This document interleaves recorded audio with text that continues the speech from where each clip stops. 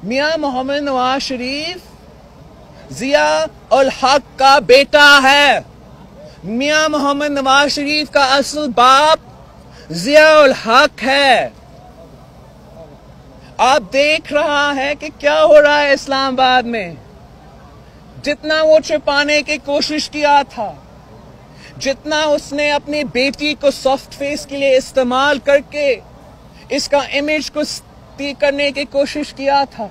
अभी सब कुछ सामने आ, आ रहा है। हम जानते हैं मैं जानता हूँ इसलिए मैं अपना बचपन से इससे लड़ रहा हूँ।